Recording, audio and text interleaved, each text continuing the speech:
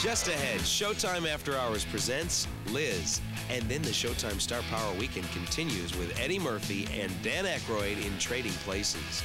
And that's it for me. Talk to you tomorrow.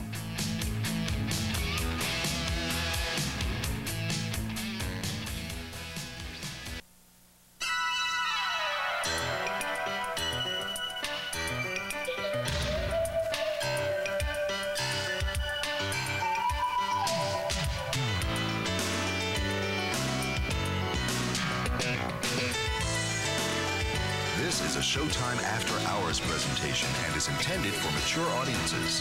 It has been rated R by the Motion Picture Association of America.